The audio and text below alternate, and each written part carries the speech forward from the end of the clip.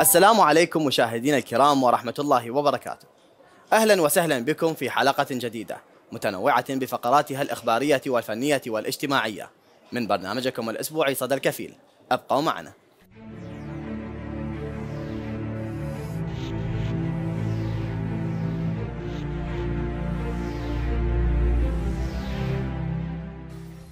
ضيفت العتبة العباسية المقدسة وفدا من مشرفي مديريات التربية وتربويها في محافظة النجف الأشرف ضمن فعاليات مشروع الساقي وتضمن الملتقى إجراء برنامج للوفد الضيف يضم عددا من الفقرات. المزيد في هذا التقرير.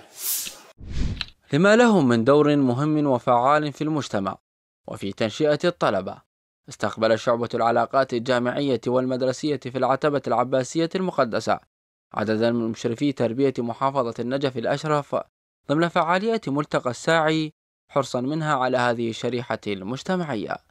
ضمن مشروع بيتية الكفيل الوطني باشر شعبة العلاقات الجامعية والمدرسية وحدة النشاطات المدرسية برنامج ملتقى الساعي الأسبوعي لكل من الأساتذة من مشرفي تربية النجف وبالتنسيق المسبق مع مديرية التربية فيها والأساتذة المنسقين فيها أيضا ضمن برامج معدة مسبقا.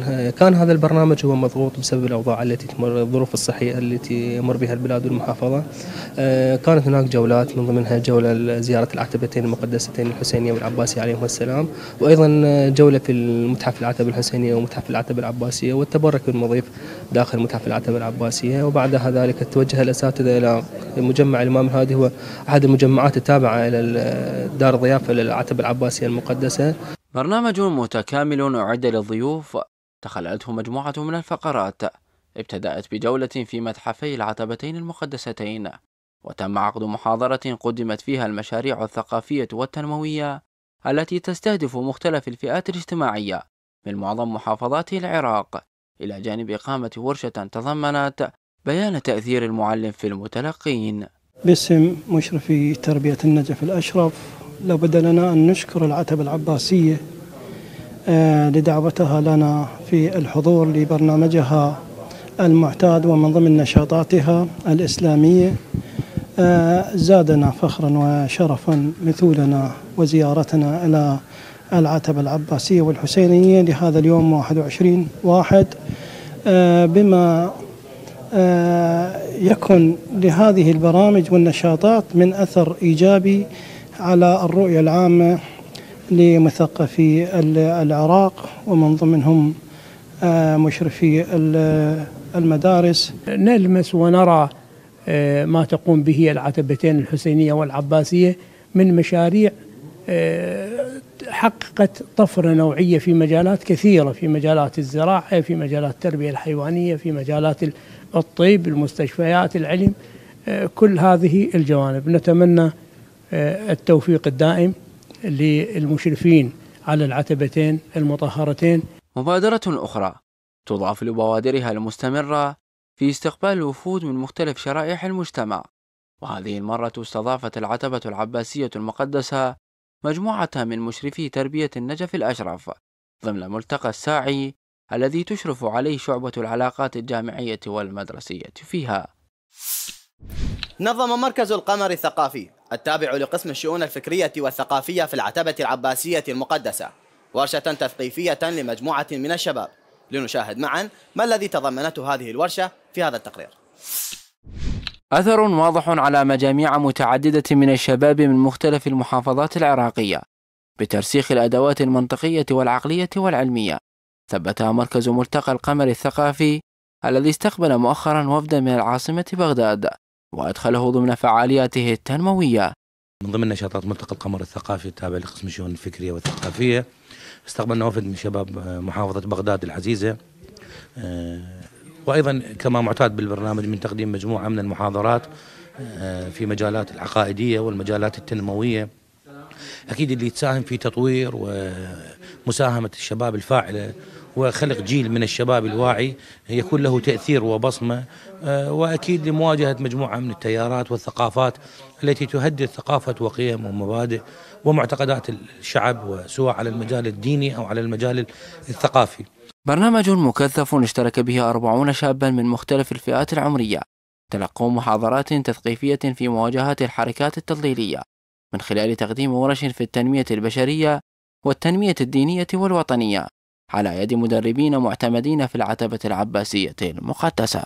ضمن ملتقى القمر الثقافي في العتبة العباسية المقدسة آه، أصبح من آه، إعطاء ورشات ودورات حول التنمية البشرية وتطوير الذات.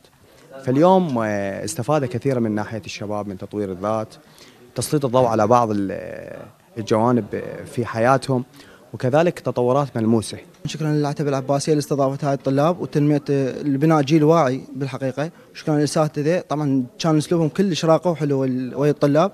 والاستفادة منهن تطوير مشاريع العقائد الدينية آه، والنتائج والأداء للعمال. تنمية مهارات الشباب وتثقيفهم من أجل بناء جيل واع وخلق قاعدة جماهيرية رصينة للحفاظ على الهوية الوطنية والدينية. هدف يسعى مركز ملتقى القمر الثقافي التابع للعتبة العباسية المقدسة لتحقيقه من خلال إقامة عدد من الفعاليات والأنشطة الثقافية. تحت عنوان تراث العلامة الميرزا جعفر ابن علي نقي الطبطباء الحائري قدس سره. أقام مركز تراث كربلاء التابع لقسم شؤون المعارف الإسلامية والإنسانية ندوة بحثية من أجل تسليط الضوء على تحقيق نماذج من تراثه المخطوط. المزيد من التفاصيل في هذا التقرير. يحتل التراث مكانة مهمة في حياتنا اليومية. كونه يمثل هويتنا الحضارية التي نستمد منها قيمنا الإنسانية وأسسنا المجتمعية. على إثر ذلك شهدت قاعة الإمام الحسن عليه السلام انطلاق فعاليات الندوة البحثية الخاصة بتراث العلامة الميرزا جعفر الطبطبائي الذي يقيمه مركز إحياء التراث التابع لقسم شؤون المعارف الإسلامية والإنسانية.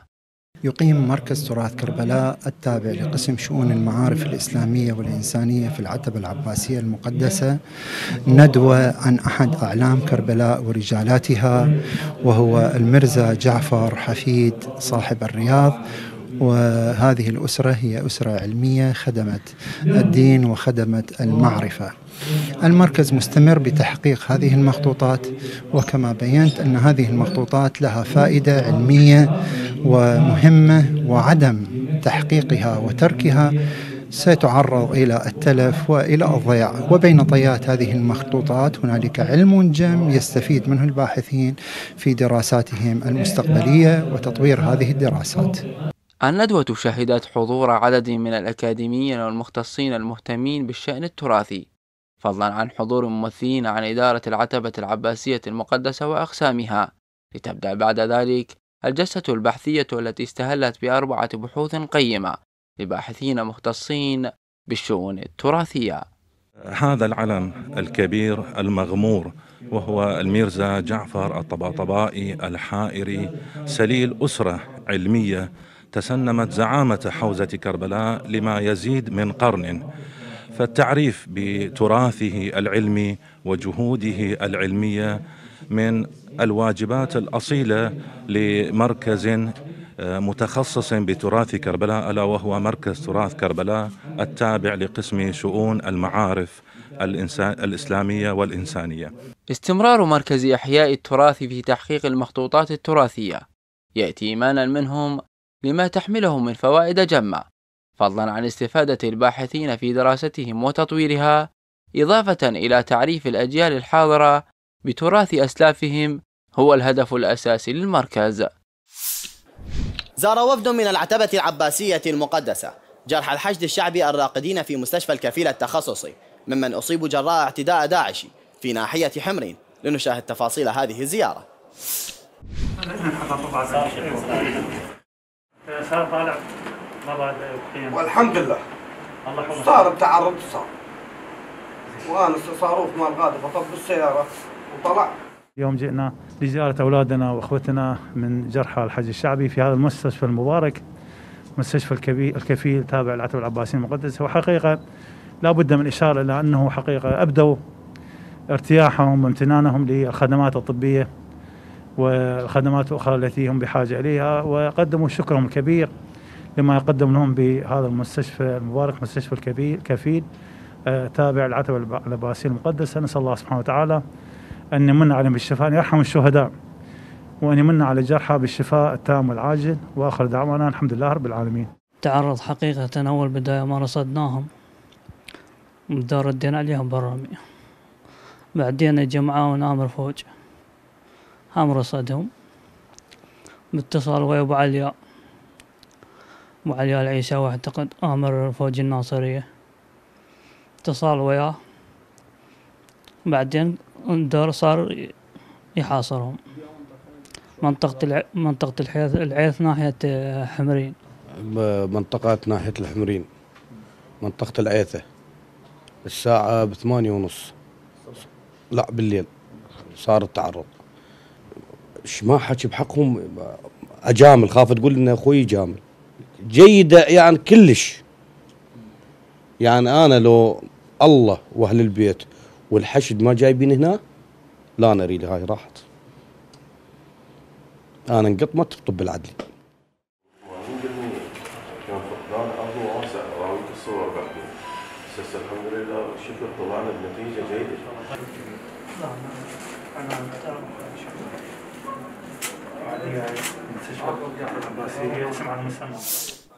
بهذا الخبر انتهت فقرة تقارير إخبارية.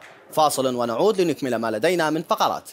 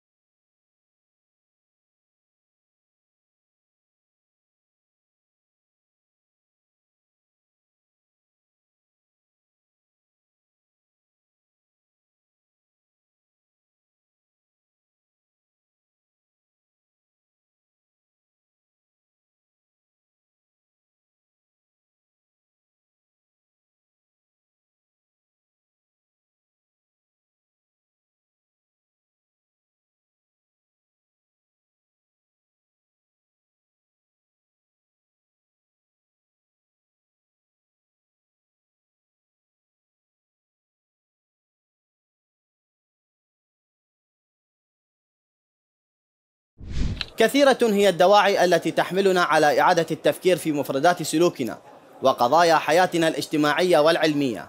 في عالم تتصارع فيه القوى وتتعارض الأهواء حتى يكاد الفرد ليضيع في متاهات هذا العالم لولا أن يتهيأ له من يضع أمامه علامات دالة إلى سبيل النجاة. تعالوا معنا نسترشد بتعاليم ديننا الإسلامي الحنيف عبر ما قدمه لنا وكيل المرجعية الدينية العليا في عطر الهداية.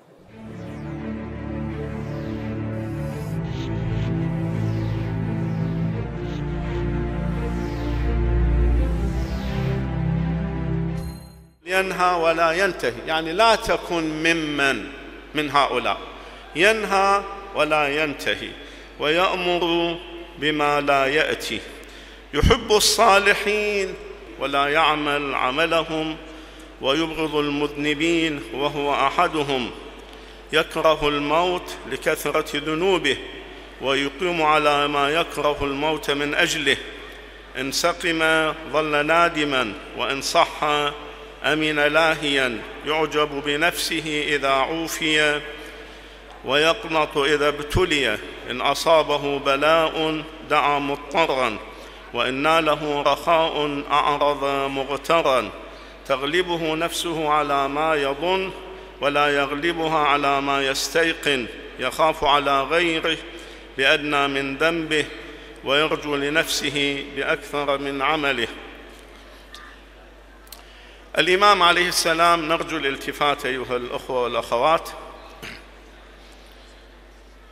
من الأمور التي هي مصاديق لحالة الازدواجية في الشخصية أن الإنسان ينهى الآخرين عن الذنوب والمعاصي وقباح الأعمال ويأمرهم بالأعمال الصالحة والطاعات ولكنه في نفس الوقت لا ينتهي عن هذه المعاصي وقباح الأعمال وفي نفس الوقت ما يأمر به لا يأتي به. فحينئذ يكون هو أولى بأن يأتي بهذه الأعمال الصالحة أولى بأن ينتهي عن هذه الأعمال المنكرة. فيبين الإمام عليه السلام حالة الازدواجية والتناقض في الشخصية. الشخصية المزدوجة هي وليدة التناقض بين مشاعر الشخص وسلوكه. خطب الجمعة دروس وعبر على لسان أهل البيت عليهم السلام. ومن هنا ننتقل إلى أخبار العتبة العباسية المقدسة مصحوبة بصورة صحفية عبر فقرة صورة وتعليق.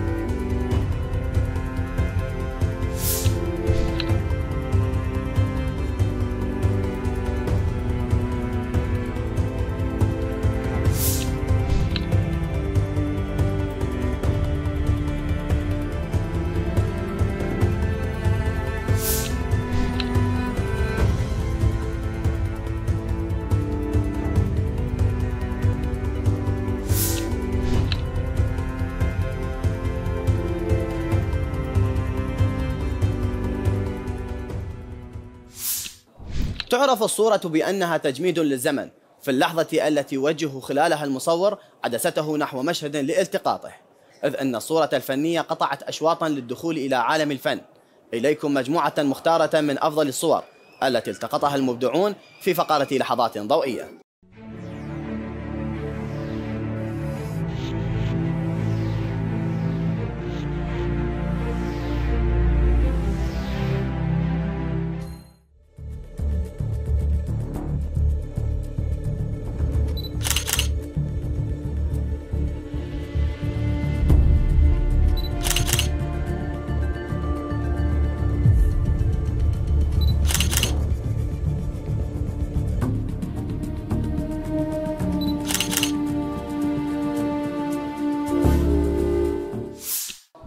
لكل داء دواء يستطب به إلا الحماقة أعيت من يداويها. فالحماقة سلوك لا ينفعه التأديب وقد يكون المرء أحمقا وحده في بعض الأحيان. ولكن هل يمكن أن تغيب أو تختفي في العمل الجماعي؟ المزيد عن هذا الموضوع في فقرة كلمة ذات.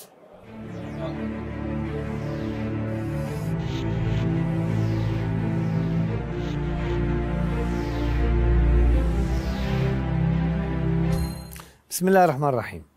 راح نتكلم اليوم عن مشكلة من مشاكل اللسان ألا وهي الحماقة. الحماقة مشكلة كبيرة تواجه بعض البشر. أحيانا بعض الناس قد يمرون بمواقف من الحماقة لكن بعض البشر عندهم حماقة مستمرة طول عمرهم. للأسف هاي المشكلة قد توقع أصحابها في مشاكل ربما تؤدي أحيانا إلى إنهاء حياتهم. الإمام علي عليه السلام يقول قلب الأحمق وراء لسانه ولسان العاقل وراء قلبه. شلون؟ يعني القلب باعتباره هو اللي يعي. أحيانا القلب يعبر عنه بالع... أو في بعض الموارد هو العقل نفسه.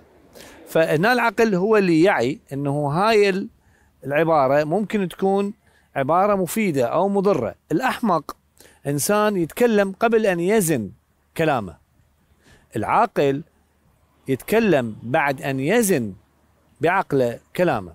لذلك نحتاج أن نوزن الكلام قبل لا يطلع لأن ممكن هذا الكلام يكون مضر بينا وبالنتيجة ممكن في بعض الأحيان أن ينهي حياتنا. الحماقة مشكلة كبيرة وكما قيل الحماقة أعيت من يداويها. شكرا لكم. من وقت لآخر نشاهد اختلاف العمران في العتبة العباسية المقدسة. والمنشآت التابعة لها. كل هذا تنفذه سواعد خدمة المولى أبي الفضل العباسي عليه السلام. إليكم ما حققوه في فقرة قيد التنفيذ.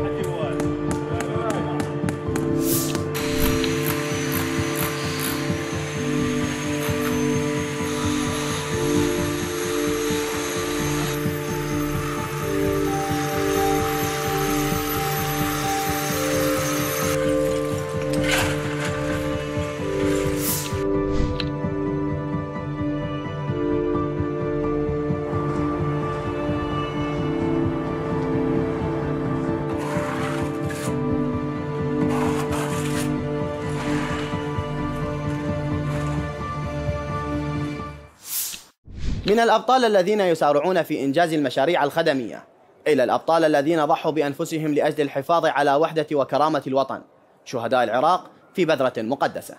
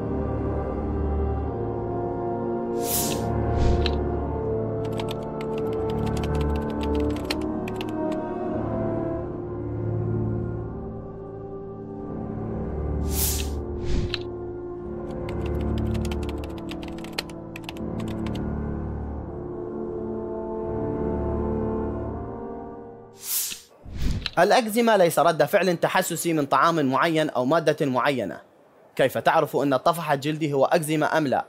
ما هي أسباب نوبات الأكزيما؟ وما هي طرق علاجها؟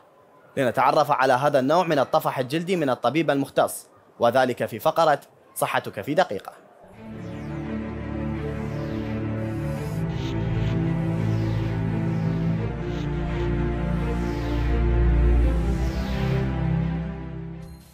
بسم الله الرحمن الرحيم.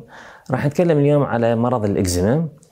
آه، الإكزيما هو آه، مرض جلدي بسيط آه، يصيب يعني الأشخاص بمراحل مختلفة من العمر بالأطفال وعمر المراهقة وكذلك بالكبار وبأنواع كثيرة. أكو الإكزيما الجافة وأكو الإكزيما الدهنية وأكو إكزيما تسمى المختلطة يعني. أكيد يعني علاج هذا المرض يتم عن طريق الطبيب الأخصائي. مرض الإكزيما مرض بسيط يعني. وعلاجه أيضا بسيط بعد تشخيصه. آه، أغلب الأمراض الاكزيما تكون وراثية وبها أيضا أنواع غير وراثية بعد تشخيص الحالة يكون علاجه بعلاج دوائي أغلبه يحتوي على الكورتيزون لفترة قليلة من الزمن. يعني يجب الالتزام بكلام الطبيب إنه يأخذ العلاج مالته لفترة مثلا ثلاث أيام إلى خمس أيام ومن ثم التوقف هاي بعد الإرشاد. بعدين علاج الخطوة الثانية اللي هو علاج الترطيب له.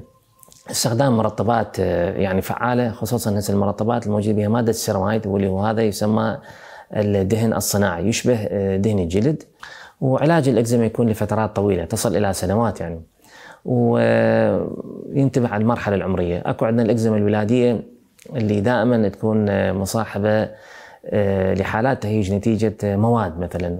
الأكل اللي بمواد حافظة الأكلات الحارة مثل العنبة والصاص والطرشي والبهارات. إضافة إلى طريقة الغسل وطريقة الوقاية. يعني مثلا مريض الإكزيما دائما ننصح بعدم استخدام الليفة وعدم استخدام المواد الخشنة. كذلك بالنسبة للملبس ننصح مريض الإكزيما عدم لبس الملابس الصوفية مباشرة على الجلد. لازم يكون قطن يعني تحت كفانيل قطن أو ملابس داخلية قطنية. كذلك حتى في الفراش المراجع اللي بيه إكزيما ننصح أنه يكون مو صوف ولا يكون خشن.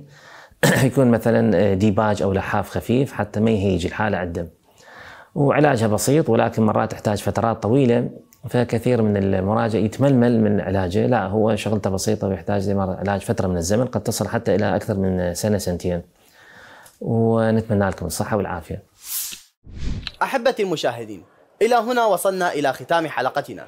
نتمنى أن تكون قد راقت لكم. دمتم في أمان الله وحفظه.